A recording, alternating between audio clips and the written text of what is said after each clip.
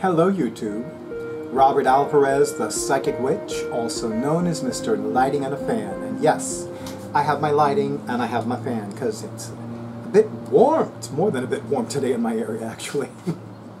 anyway, so welcome to the YouTube channel of yours truly, Robert Alvarez, the Psychic Witch, also known as Mr. Lighting and a Fan. And it has been far too long since I have acknowledged my newest YouTube channel subscribers, and they are Raymond Avalos, beautiful name, Miss Gigi, Miss Gigi, Miss Vanjie. Believe it or not, I have yet to watch a full episode of RuPaul's Drag Race. And, and one would think that I watch it religiously, but I actually do not. Yes, there are gay men in the world who do not watch RuPaul's Drag Race religiously, and I happen to be one of them, but I digress. Pink Divination. I love this YouTube channel name, um, especially because one of my favorite people on planet, planet Earth, Michelle, the Michelle Swan Graham, Swan of Dreamers on YouTube, is her YouTube channel. Her signature color is pink. My signature color publicly is purple but my uh, my historically long-time favorite color is blue, which is why I'm wearing blue predominantly today. Um, Miss Psycho Renee, when I saw this, I immediately thought, oh, this is somebody that Drake would be bosom buddies with because, you know, Drake's a little cray-cray. So yes, Miss Psycho Renee. I, I think that she, she created that because not only is she a little Miss Psycho, but um, she wants people to laugh. And when I read that, I'm like, oh yeah, she's gonna she's she's she's not gonna be anything even remotely resembling boring. And last but not least, Elizabeth English. What a beautiful name. Oh, I love that. So welcome to the YouTube channel of yours truly, Robert Alvarez, the Psychic Witch, also known as Mr. Lighting and a Fan.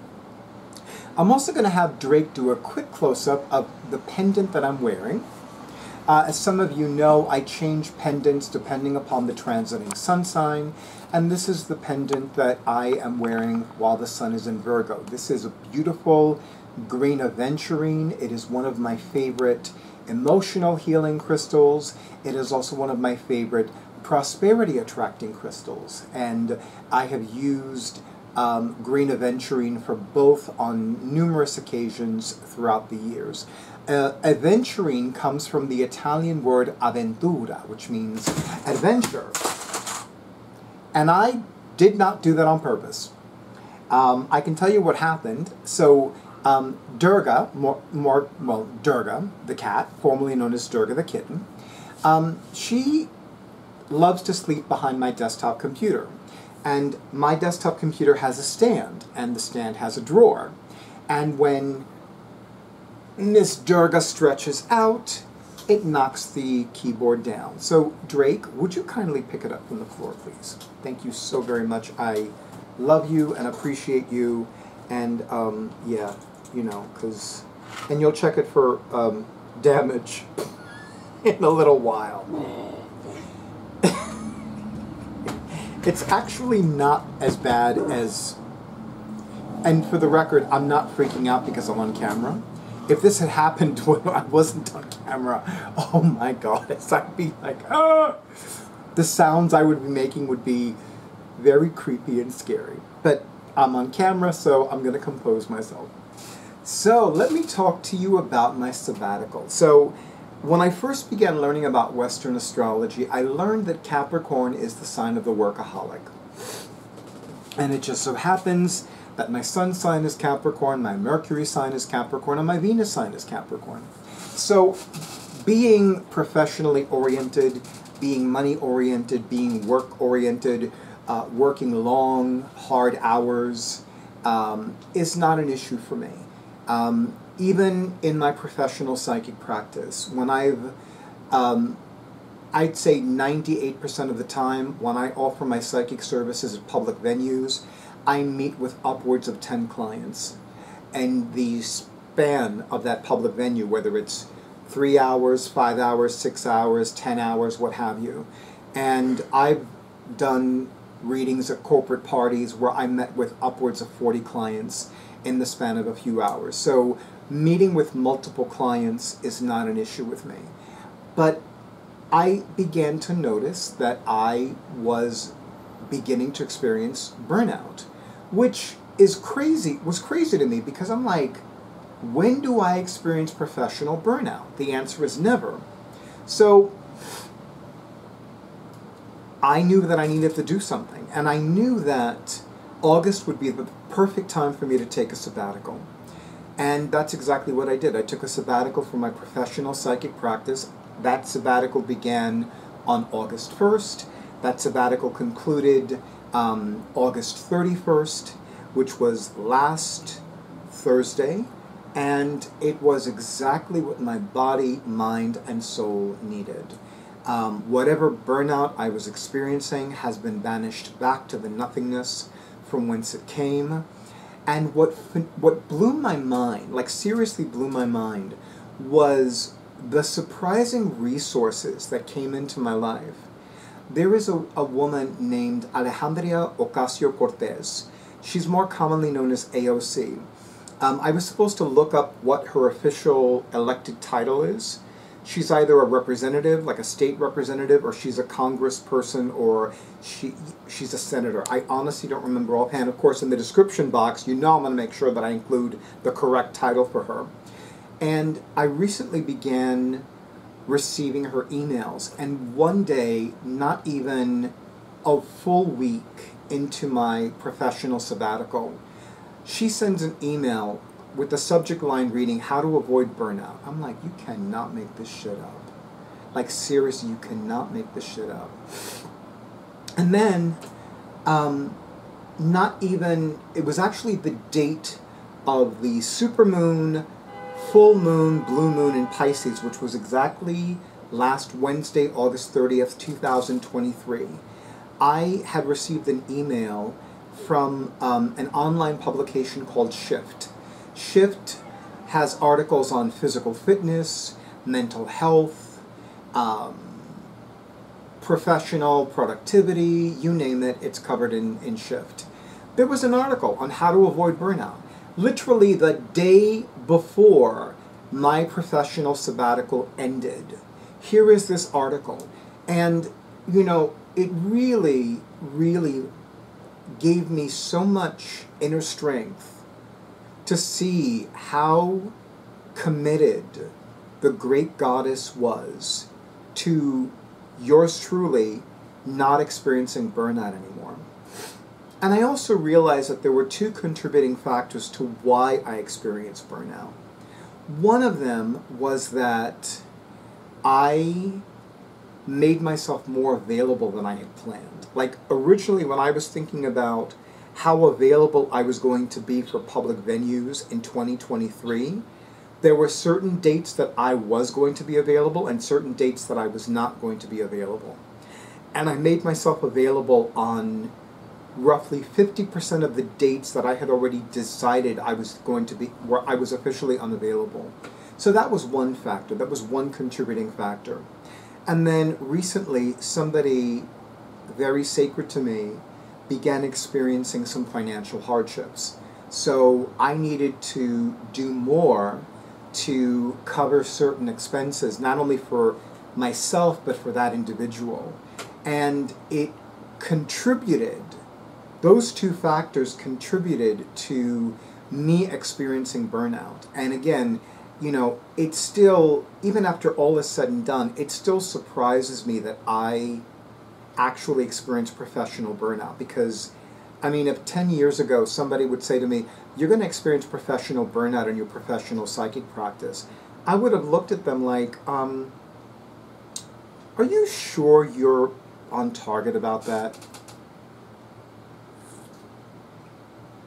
And if I was feeling bitchy, I would have said, What drugs are you taking? Because you need to go to your dealer and tell, you, tell them to stop selling you that fucked up crack. If I was feeling bitchy.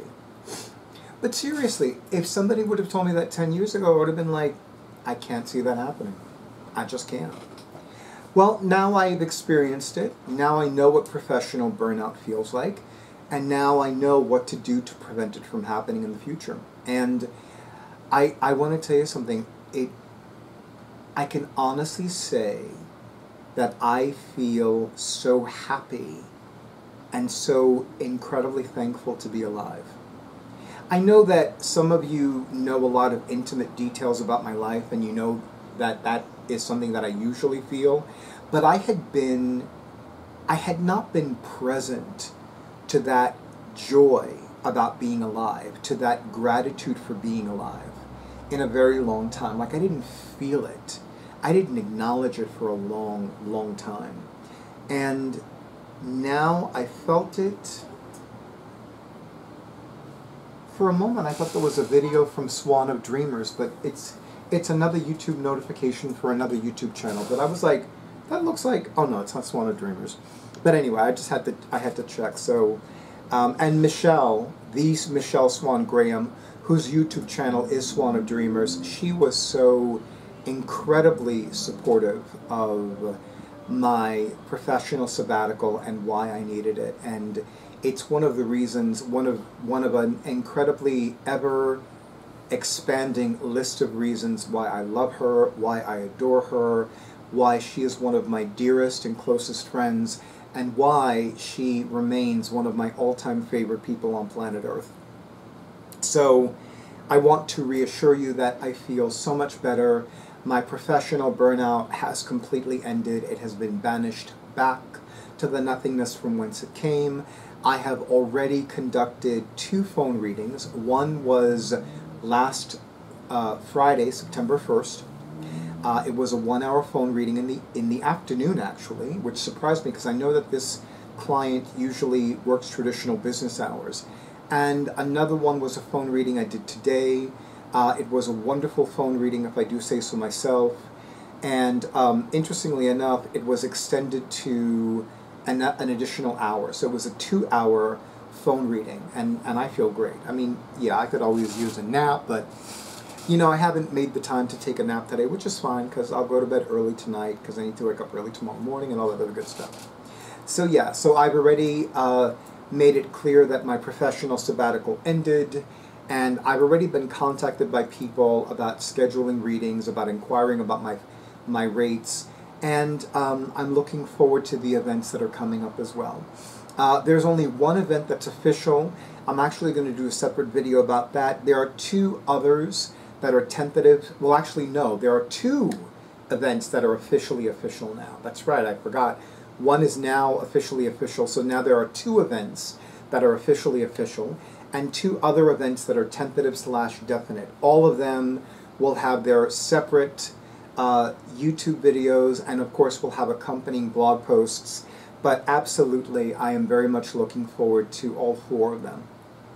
So, um, you're more than welcome to ask me any questions about what I did, what I didn't do, how I spent my sabbatical. And for the record, I spent a lot of my sabbatical reading books, watching movies. I have an ever expanding list of movies and TV shows that I want to watch. And I'm like, you know what? It's time to start watching these TV shows and movies so that I can reduce that list somewhat. And honestly, um, you know, I also took naps and I also, I mean, I did what I needed to do. If I needed to go to the grocery store, if I needed to run a few errands, you know, I didn't deny myself anything. And I even engaged in three days of sacred solitude, which for me is always I don't leave my apartment. I don't have any contact with the outside world. My phone is off. My computer is off, and I live for those sacred solitude periods because they are such an incredibly powerful reset for me. They're a cosmic reset, and, and I cannot over recommend them to all of you in YouTube land. They, they really make a huge difference for me. Hmm. And even if you have a lot of commitments and a lot of responsibilities and obligations, even if you took an hour, that'll make a huge difference for you. Just an hour. Like, even an hour will make a difference. I mean, an hour can't be compared to three days, but you know, whatever is available to you, make it happen. I cannot over recommend it. And with that, I bring this video to a close. I of course, am always so thankful to all of you in YouTube land for all the likes, all the comments, all the shares, all the subscriptions to my YouTube channel, as well as especially an extra big and beautiful thank you to not only those of you who have scheduled your sessions, but uh, to those of you who bought me a coffee. And two people bought me a coffee earlier today, and I was very happy. No, different kind of coffee. The, the coffee that I'm drinking is, is instant, but it's good instant. And the coffee that I received was a $7 love offering, which made me very happy. So I wish all of you a beautiful night, a wonderful week. Enjoy this waning moon. And if you, like myself, live in the Northern Hemisphere, know that autumn approaches. Autumn is coming. Today is fucking hot as hell, but autumn is coming. And stay tuned for the next video.